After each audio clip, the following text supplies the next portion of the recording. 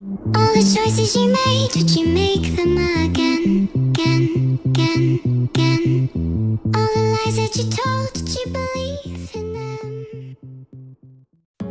Halo teman-teman semua di mana pun kalian berada, berjumpa lagi dengan channel Denny Kece di sini. Hmm? Seperti teman-teman lihat di sini, kita akan membahas tentang kecelakaan kerja lagi ya. Sudah lama saya nggak mengupload video-video berbau dengan kecelakaan kerja, guys. Juga kesalahan kerja dulu. Nah, dalam video kali ini kita akan melihat-lihat ya satu kelalaian atau kecelakaan kerja pada bapak ini ya. Bapak usia kurang lebih eh, 40 tahunan ya guys ya. Dia bekerja di pabrik peleburan baja guys. Dan kejadian perkaranya ini sekitar setengah dua malam saat bapak ini bekerja di shift malam ya.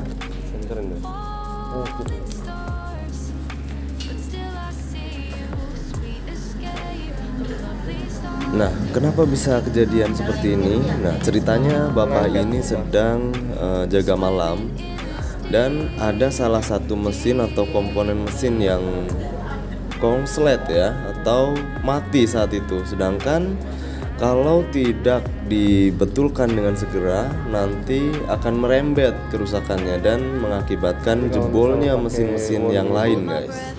Perlakuannya nggak sama berarti tetap dua atau tiga hari baru bisa ganti, baru ganti perban ya? Kemudian bapak ini mengalami kecelakaan kerja tersebut ya. Eh, secara tidak sengaja, mungkin ngantuk juga atau mungkin karena memang bukan bidangnya? Karena memang untuk membetulkan suatu alat yang rusak itu kan harus mekaniknya sendiri ya guys. Sedangkan bapak ini bukan bagian atau bidangnya. Nah bapak ini terpeleset kemudian kakinya itu sampai sebatas eh, pinggangnya itu masuk ke air panas ya. Mungkin air panas itu untuk mendingan mendinginkan baja-baja yang sudah dipanaskan guys.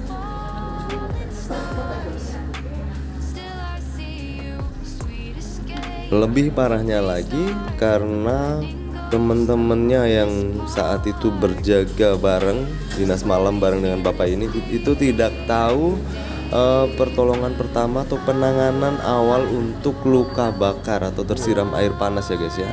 Jadi ceritanya bapak ini setelah eh, ditolong oleh temennya itu dibawa ke ruangan ber AC dan juga tidak dilakukan eh, perawatan yang semestinya. Jadi luka bakarnya serius dan penanganannya tidak tepat. Jadi seperti inilah teman-teman jadinya. Eh, kulitnya pada mengelupas semua ya. Nah, sedikit tips untuk teman-teman semua yang eh, bekerja dan pekerjaannya penuh dengan risiko, baik itu di pabrik atau perusahaan apa pun yang punya risiko.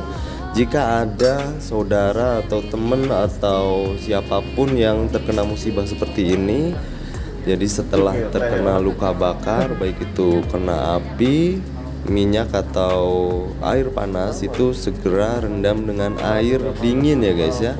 Jadi untuk mengurangi rasa terbakarnya dan jangan mengelupas kulit yang eh, terbakar tersebut ya karena nanti dikhawatirkan akan terjadi infeksi. Jadi otomatis kulit yang sudah terbuka itu akan lebih rentan eh, me- untuk tempat masuknya bakteri, guys. Kalau waktunya singkat ya nggak nggak parah banget. Kayak gini kan mungkin nggak lama jadi eh, yang kulit yang mati itu nggak terlalu dalam. Kalau lama kan matang juga kulit. Iya. kalau tadi langsung berdua mah dia langsung yang satu orang takut kesetrum kan dekat panel juga kita narik nggak kuat. Dua-duanya belum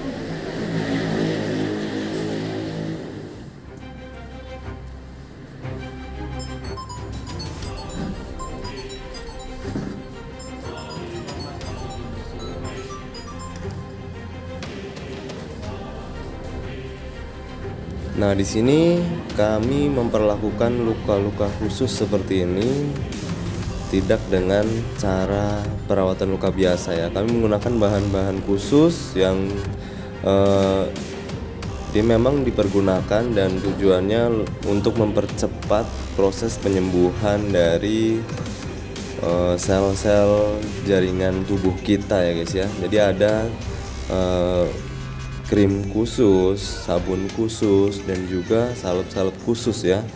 Eh, setelah dibalut seluruh luka yang ada di kulit bapak ini kita bisa menunggu setelah dua atau tiga hari ya tergantung dari rembesan eh, cairannya nanti.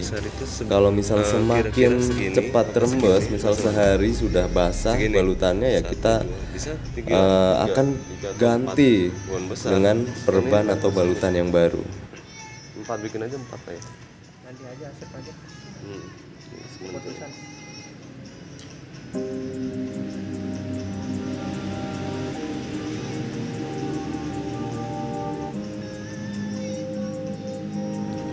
Nah untuk luka-luka serius seperti ini Ini tergolongnya mungkin luka bakar eh, grade 3 atau 4 ini guys ya. Karena memang sudah 50% dari bagian tubuhnya yang eh, mengalami kerusakan guys. Untuk estimasi kesembuhannya bisa sekitar tiga mingguan ya dengan perawatan khusus seperti ini.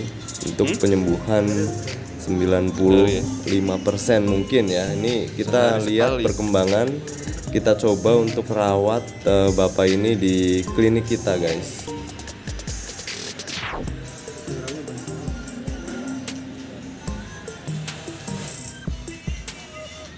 Nah selain luka-luka bakar seperti ini di klinik kami juga melayani berbagai macam jenis perawatan luka ya.